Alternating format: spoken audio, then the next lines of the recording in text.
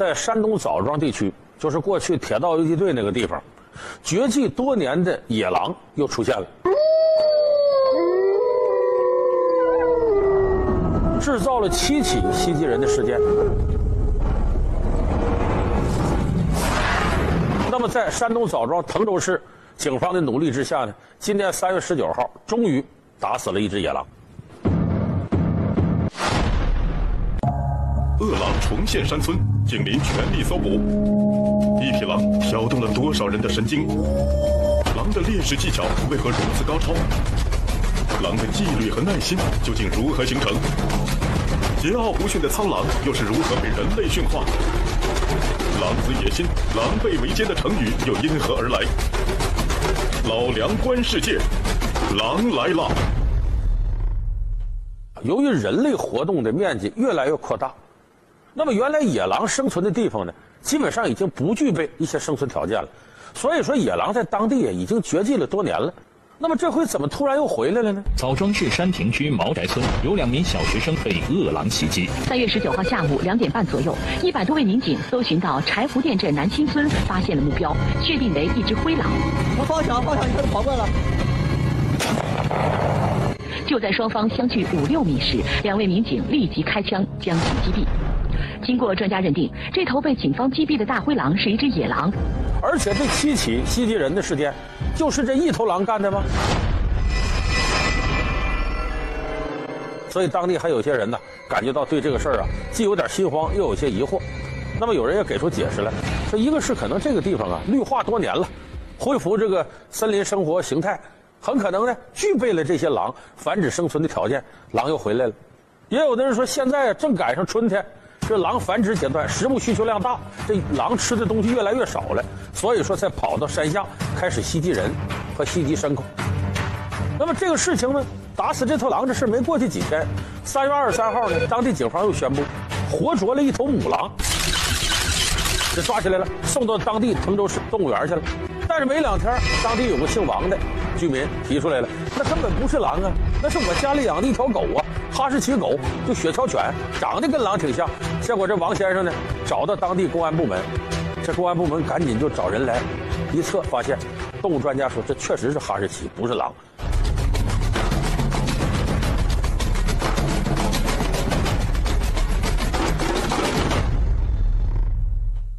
咱们电视机前的观众朋友，可能有的对这个养狗是内行的，知道哈士奇的基因呢，有百分之九十九和狼像。说他俩像到什么程度呢？哎，你比方说这画面上出现一个哈士奇，一个狼，你有时候可能会把狼认成哈士奇，把哈士奇认成狼。那么它俩细区别是什么呢？我给大伙说说啊。首先一个最主要区别在眼睛那儿，哈士奇的眼睛呢比较圆带圈的双眼皮儿，而狼的眼睛不是，狼的眼睛向后倾斜有四十五度角，看着要比哈士奇显得更凶一点。这是眼睛。第二个呢是尾巴。狼的尾巴始终是夹着的，呃，垂直向下夹着；哈士奇的尾巴呢是卷起来的，也能往上竖。这个咱们有个历史上有个笑话说这个事儿，说又说纪晓岚和和珅。纪晓岚当时那官呢是礼部侍郎，就是文化部副部长；和珅那官呢是吏部尚书，就等于是组织部的部长。两个人在一块大堂上聊天，突然间跑进了一只狗，和珅想骂纪晓岚。跑进这狗，你分不清它到底是狼呢还是狗呢？所以和珅问纪晓岚：“纪大人，嗯，是狼是狗？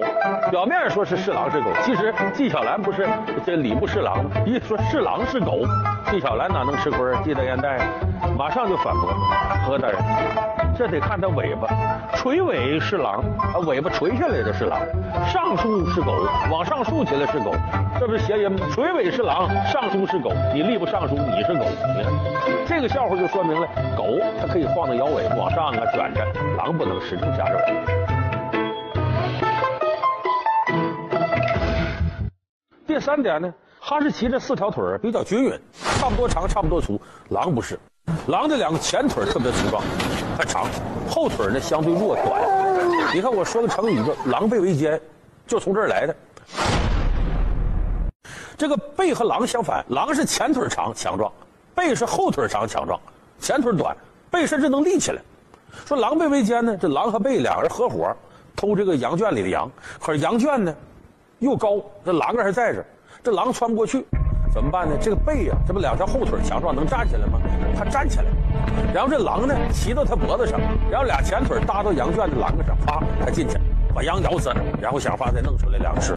所以狼狈为奸从这儿来，所以狼的前腿特别粗，壮，所以这跟哈士奇区别。最后一个区别呢，就是它毛色是不一样的。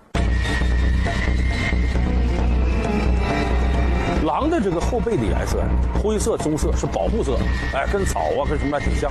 哈士奇什么颜色都有，白的呀、花的、黑的什么的都有，花色比较多。所以正是靠这些明显特征，才把哈士奇和这狼给区分开。但是哈士奇跟狼这么像，它可不是无缘无故的。有一点它和狼比较像，就是它在恶劣自然环境下生存的本能，包括捕猎。这一点可确实是狼性在它身上依然存在。我们都知道狼捕猎的特点，可以有比较强的忍耐力，伺机而动，而且组织性很强。哈士奇作为雪橇犬，它在恶劣的自然环境下的捕猎能力，多多少少从它老祖宗狼那儿有完整的遗传。这个呢不用我说，过去有一部好莱坞电影叫《南极大冒险》，写的是呢几条哈士奇犬、雪橇犬在南极那被困住了。他们为了生存，其中有一段集体捕杀南极的海鸟，那一段拍的惊心动魄，而且特别精彩。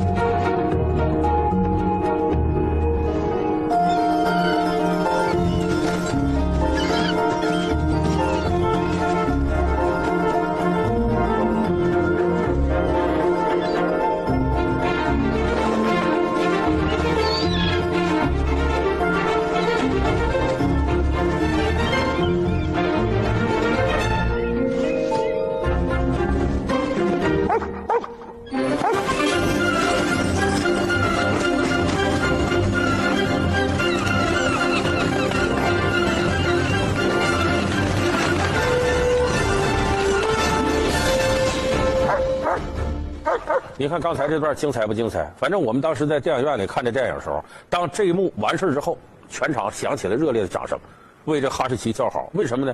不仅仅是在捕猎之前呢，这种隐忍而为啊，这种战术，关键你看把这鸟抓住之后呢，他们并不是贪吃，而是放到领头那儿进行一次资源再分配。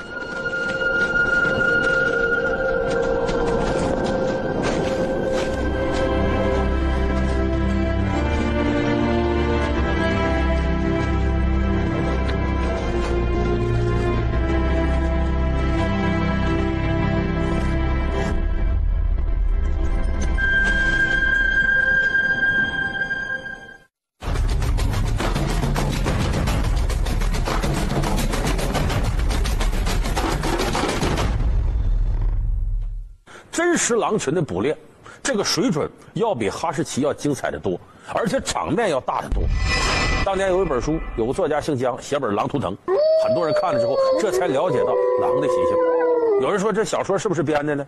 咱们先不从这角度说，现实当中的真事儿有时候比小说写的更好。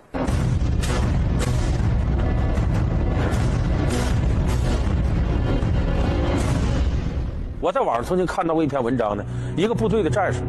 他回顾当年在内蒙古锡林郭勒盟亲眼看到的五六十只狼围歼两三千只黄羊的场面。